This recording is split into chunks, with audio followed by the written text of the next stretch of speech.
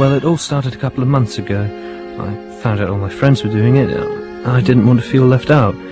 So I went out and got one, and it's true what they say, you never forget the first time. When I put that Burberry cap on, it felt pure magic. I couldn't stop there. Before I knew it, I had a scarf, and then a jacket. But that wasn't enough. I started to steal to fund my Burberry fix, man.